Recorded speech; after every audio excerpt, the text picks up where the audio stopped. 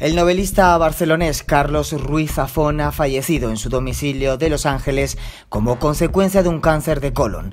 Ruiz Zafón, de 55 años, ha sido uno de los autores más leídos y admirados en todo el mundo. Había sentido los primeros síntomas en un viaje a Londres en enero del 2018 y quiso ser sometido a tratamiento en Estados Unidos, donde residía de forma habitual. El duro combate con la enfermedad se ha prolongado a lo largo de dos años.